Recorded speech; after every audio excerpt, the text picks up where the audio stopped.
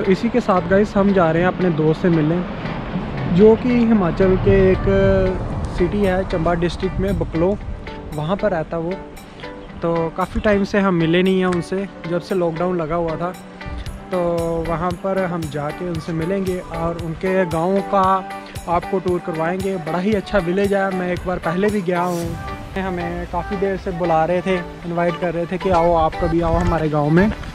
तो बड़े ही मेरे क्लोज़ फ्रेंड है और बड़े ही अच्छे फ्रेंड है मेरे। और हिमाचल वाले तो वैसे ही बड़े अच्छे होते हैं इंसान उनके दिल में बड़ा अच्छा होता है। तो गाइस मैं एक और बात बता दूँ कि जो मेरे मम्मी हैं वो भी हिमाचल से ही हैं। डिस्ट्रिक्ट चंबा से बिलोंग करते हैं। और यहाँ पर देखिए रीमा एक फ्रेंड बना के बैठी हुई है। पहले तो शुरुआत में बड़ी भोग रही थी अभी ये दोस्ती कर ली इसने। हाँ, एक छोटा सा डोगी है उससे छोटू सा डोगी है। जो बड़ी तेज है लेकिन कहती थी अभी तो देख लो ना? दोस्ती हो गई ना। हम्म, अच्छा और देखो। और ये मुर्गे देखेंगे अगर हम। कितनी सुंदर लेकिन खाने में कितनी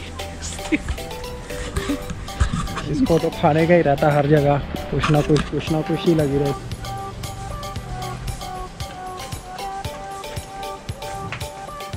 मेरा भी दिल करता है। और गाइस मेरा बड़ा दिल करता है कि घर में ना मुर्गे रखे। पर प्रॉब्लम एक ही है कि- गंद की भी गंद की भी बात नहीं है। जैसे कि मैं थोड़ी सी सेटिंग करूँ गंद की भी बात नहीं है कि जैसे कि केयर करना बड़ा मुश्किल है और हमारे जो जूली चाटू है ना वही चाटू चूटू कर जाएँगे। तो फिर वो चाटू कर गए तो हमें बड़ा दुख लगेगा। तो इसीलिए हम मुर्गे मार के रखते नहीं है। एक बार मैं अपने भाई, इंदर भाई जो थे, जिनके घर हम जा रहे हैं विलेज में तो उनके घर गए थे एक बार बेड़ू लेने।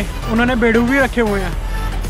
तो बेड़ू क्या लेने जाना हमें फिर वही रहा प्रॉब्लम कि जैसे कि सड़कों में, गलियों में जो कुत्ते वगैरह होते हैं स्ट्रीट डॉग होते हैं, शहरों में रह भी नहीं पाते। वो थोड़ा सा ठंडे एरिए में रहते हैं। पठानकोट में गर्मी भी बहुत होती है।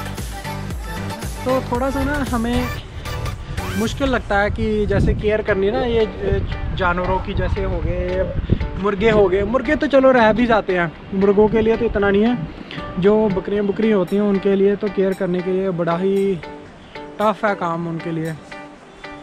तो मेरा है ख्वाहिश ज़रूर है कि मैं ना कभी बेड़ू ज़रूर रखूँ। कभी मैं हिमाचल में प्रॉपर आया ना सेटल हुआ ना तो ज़रूर मैं बकरियाँ, बेड़ू ये बड़ा कुछ रखूँगा मैं मुर्गियाँ। तो इसी के साथ देखिए रीमा ऐसे खिनी खेनी कर रही है डॉगी के साथ। ये दो चीज़ ना हो है। बाकी सभी की ब्लॉगिंग करने का स्टाइल एक अलग सा स्टाइल होता है। हर कोई अपने अपने अंदाज से ब्लॉगिंग करता है। हमारा अंदाज कुछ अलग तरीके से है। तो गाइस इसी के साथ हम मैगी का एंजॉय करने लगे हैं। और आई थिंक मैगी भी हमारी तैयार होगी बन रही होगी। तो लीजिए गाइस तो हमारी मैगी है तैयार। गर्मा गर्म बड़ी ही जो कि टेस्टी लग रही है। और रीमा देखिए कैसे टूट पड़ने के लिए तैयार है। वैसे ना घर में तो मैं नहीं खाती लेकिन बाहर में जाऊँ। ना बाहर पहाड़ों में जाओ तो इसको मैगी बड़ी ही अच्छी लगती है।